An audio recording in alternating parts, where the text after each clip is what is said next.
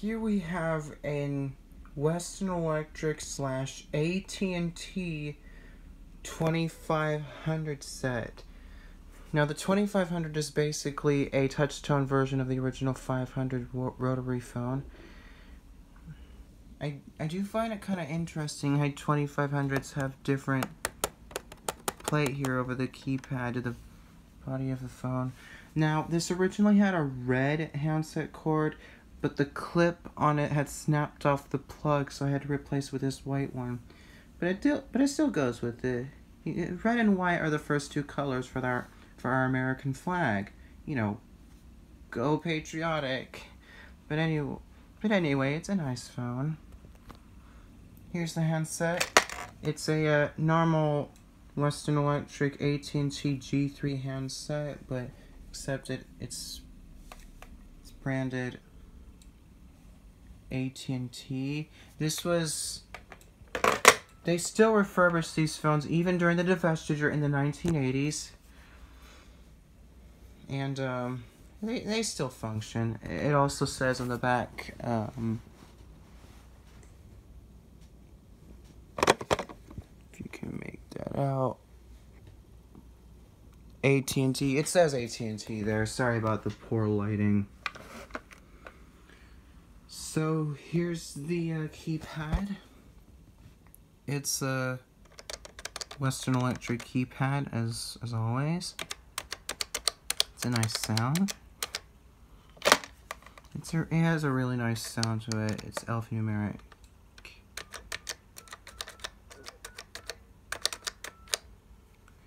There's the switch hooks.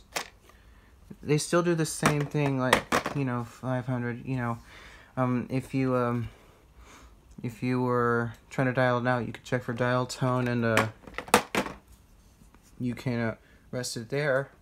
Or, if you answer the call and if it's not for you, you can rest it like that. Yeah, so it's just a couple of cool things about it. You can also do that with a um, British Telecom GPO 700 series. So, uh, this number card here I made because this phone was manufactured by AT&T, so, manu I mean manufactured by Western Electric, sorry. Um, hopefully. I'll show you the base. Um, here's the original Original date, um, 1973. There's a purchase date. The refurbished sticker, accident.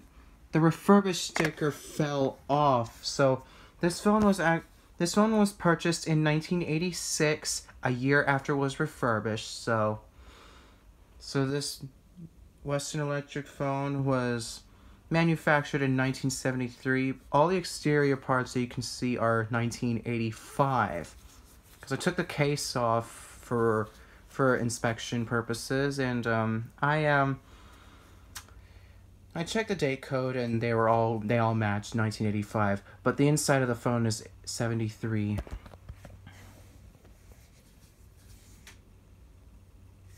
So I'll show you dialing out, and then uh, I'll use a I'll use an emulator to ring it back.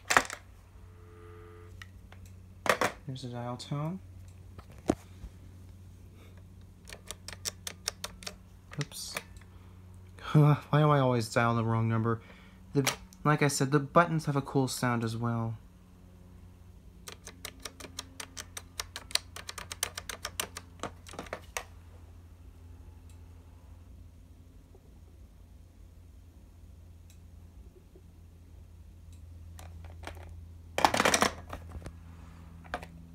There you go, and that was dialing out nicely. Now, let me reconnect this from my, uh, I'm, I'm just going to reconnect this to the uh, emulator. Just bear with me one moment. My camera's facing, I don't know why the screen is all black now, but anyway. Here we go. So, without any further lecture, here it goes.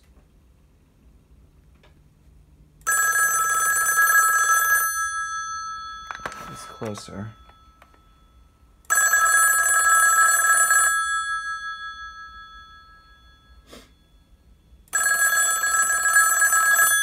Let me turn this down.